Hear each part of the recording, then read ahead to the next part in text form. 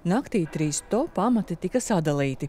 Urzula Fonderleina būs Eiropas komisijas prezidente, Igaunijas premjere Kaja Kallasa, Eiropas Savienības augstākā diplomāte un bijušais Portugāles premjeras Antonio Košta, Eiropadomas prezidents.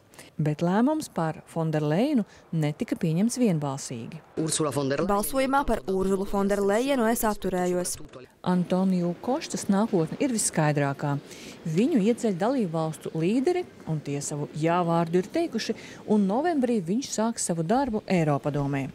Kāju Kallasu apstiprinās vēlāk kopā ar visiem komisāriem, un tas nozīmē, ka viņai vēl ir priekšā trīs stundu ilga izvaicāšana Eiropas parlamentā, un tad deputāti teiks savu jā vai nē vārdu. Tas ir pagodinājums ne tikai man, bet arī mazai valstī Igaunijai, kas ir bijusi Eiropas Savienībā jau 20 gadus. Tāda diezgan simboliska jubileja. Bet vispirms parlamenta priekšā stāsies Urzula Fonderleina. Visticamāk, 18. jūlijā. Lai viņa tiktu ievēlēta, vajadzīga 361 balss no 720. Vai balsu pietiks, neviens īsti nezina.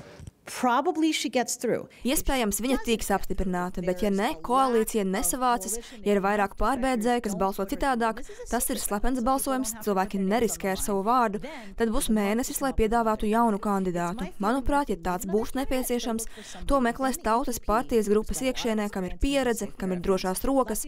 Latvijas valdes Dombrovskis šim aprakstam atbilst. Pirms pieciem gadiem Urzulai Fonderleinai parlamenta balsojums nenāca viegli. Toreiz viņa ieguva tikai deviņas balsis pāri nepieciešamajam minimumam. Ilze Nagla, Ivo Žapickis, Latvijas televīzija no Briseles, Bēļģijā.